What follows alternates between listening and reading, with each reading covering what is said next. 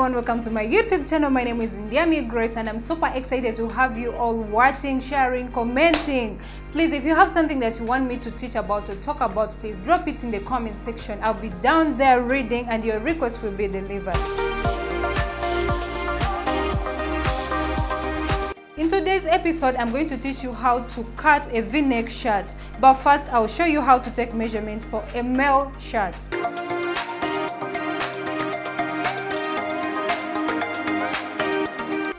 You need to measure the neck, the cover, the bust, the sleeve length, the sleeve width, and the full length of the shirt.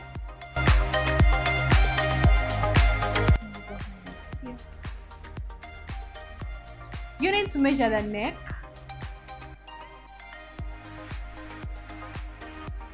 For example, mine is 16. It has to sit unless the client wants it a bit wider. And then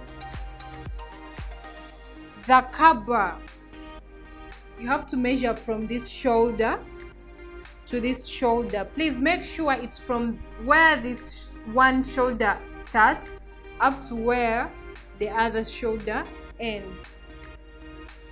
It has to sit perfectly.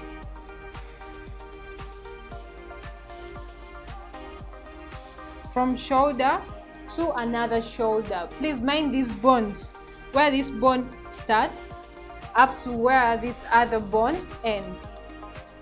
And again, you have to measure the busts.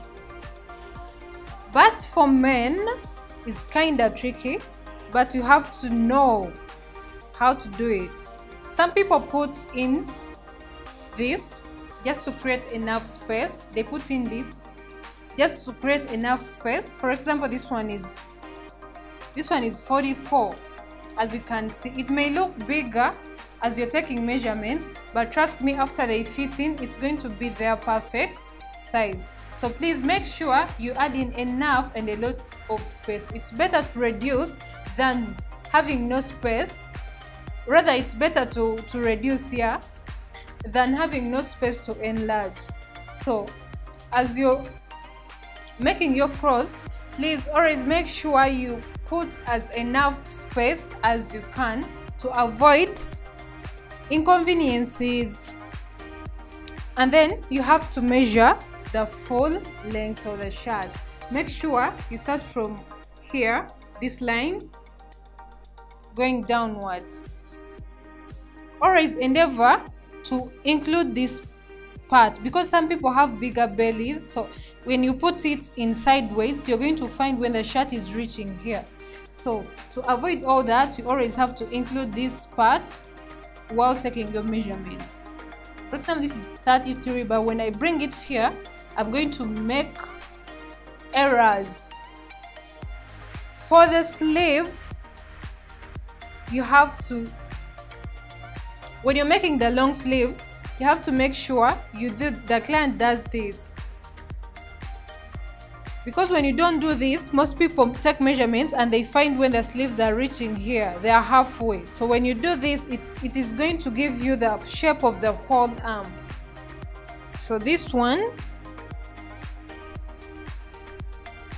Please make sure you include the elbow as well so it comes straight this one is 24 and a half inches. Please note that i'm doing my measurements in inches please. This one is 24 and a half inches for the long sleeves and for the short sleeves. For the short sleeves it is 10 halfway of the arm. And for the sleeve width you just have to include enough space. Just put enough space as much as enough. Just in, just put enough as much as enough space in your measurement. For example this one is 14 but it's enough for him to move his arm and do anything that he may feel like doing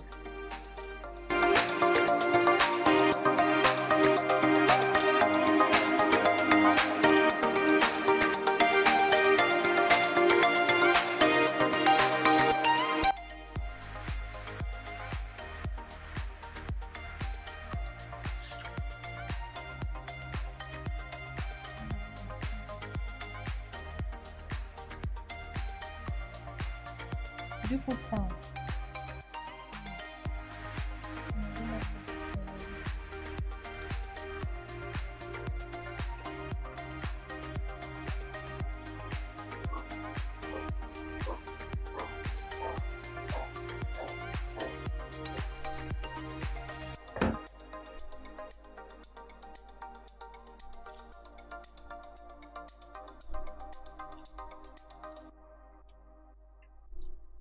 So my measurements, I'm using a kaba of 17, bust of 45, full length of 34, sleeve length of 10, and a sleeve width of 14.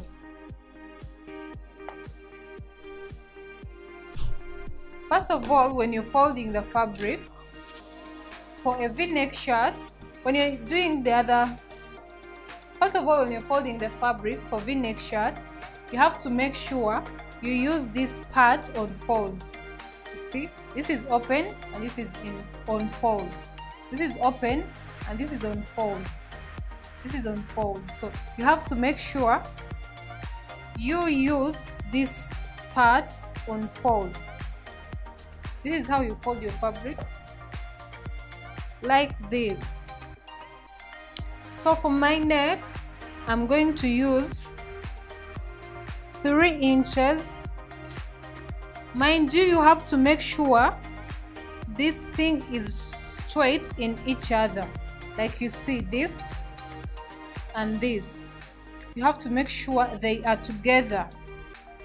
Don't let the inside part get apart from this outer one so please always endeavor. You can use pins just in case it's becoming hard for you. Some fabric is stubborn. So pins are always there to help. I know beginners don't want to use pins. They won't they don't want to to use pins. But please use your pins in order to get something neat. It's for your own good. So I'm going to use 3 inches.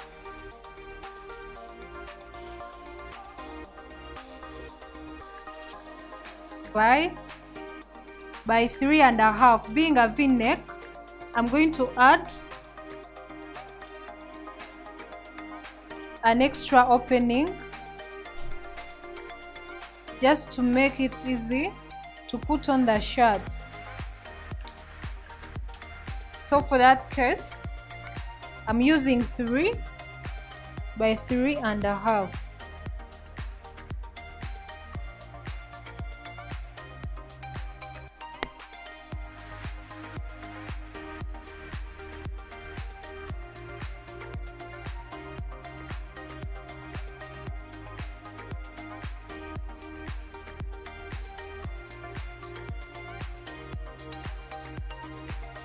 So this is for the front neck.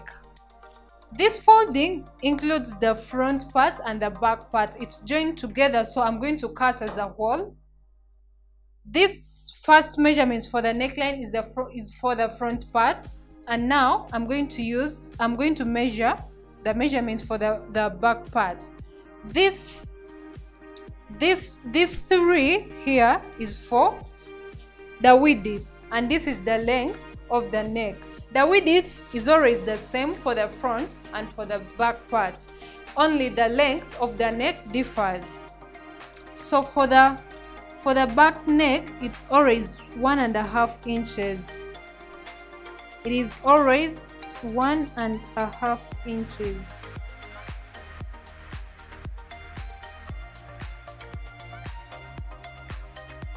For the beginners, anyway one and a half inches you're ready to learn.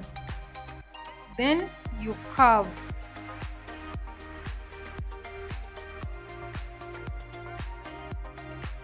and here you curve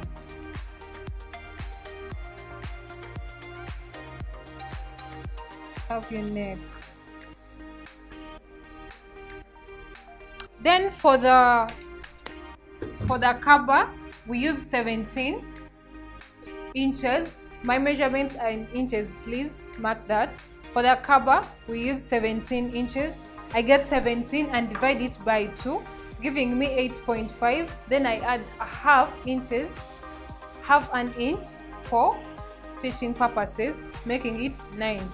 So from the very point, I'll mark 9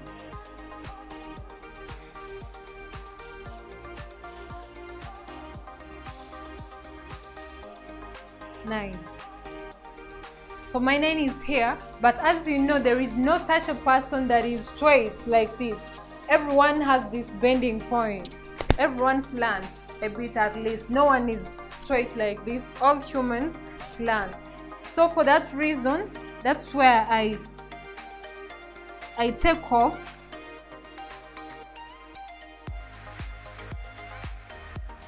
One inch from my starting point. You see my neck starts from here. So from this very starting point, I'm going to take off one inch. Some take one and a half inches, but also one inch can work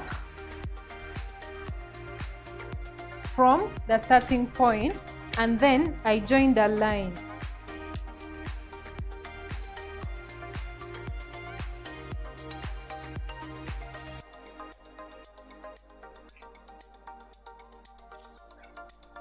I guess you can see that. And then for the armhole, I'm sorry we didn't measure the armhole when I was showing when I was showing you how to, to, to take measurements, but you can always measure someone's armhole. And some do use the trick of uh, dividing the busts for example, my bust is 45, so when I when I divide it by 4, I get 11.25. So I can just make mark 11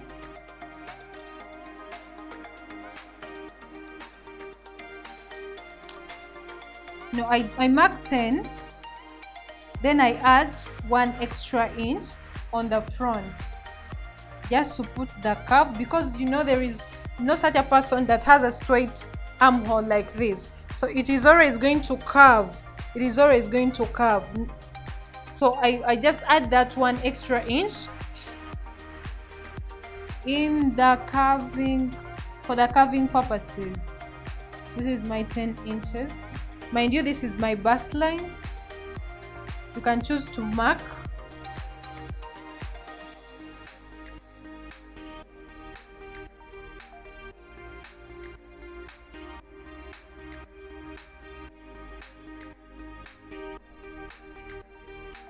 sorry here I'll mark 11 because that is my armhole.